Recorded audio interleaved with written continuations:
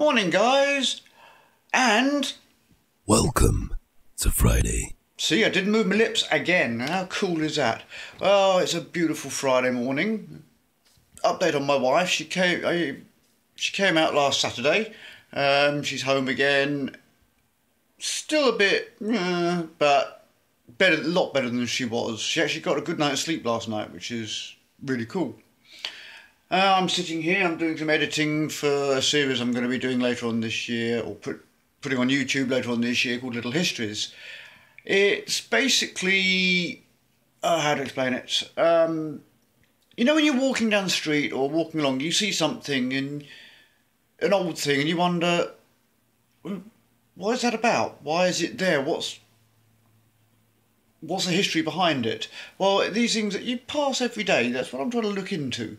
I've got some very interesting things I'm going to be looking into. This here is actually, I'll show you here. This is um, a windmill. Yeah, it's a windmill. Um, it's the only um, flour producing windmill in Kent, and it's also the uh, also a museum, working museum. They do tours around it. It's really good. So if you're in Ash, coming into Ashford, go and have a look at Winsborough, Win, Winsborough, Win, Willesborough Windmill. Get that right. Um, now today we've got a hospital appointment we've got to go to. A friend Marky Mark's going to pick us up, which is really cool. Um, basically, he's really struggling to hold me in one arm, Wendy in the other, and just walk down there. It makes it easy.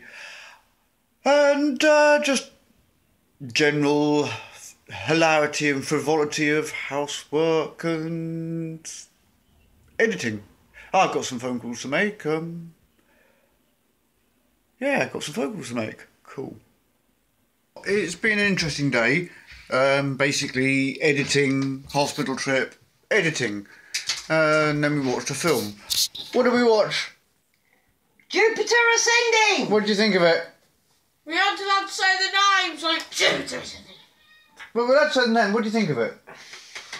Bloody epic. Can't say on camera. You just said. You just, said bloody. Oh, you're bloody not allowed to say bloody, okay? I'm There, see, I've told him.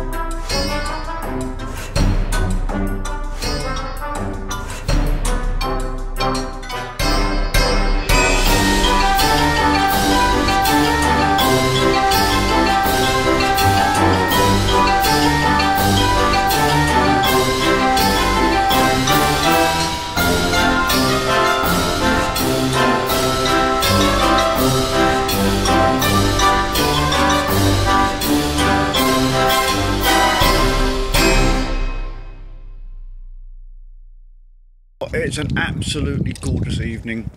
Really is gorgeous. Bit overcast, but it's nice and warm.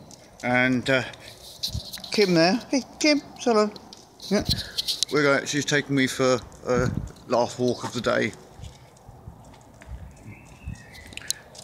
Gorgeous she is. Well, we watched Jupiter Ascending.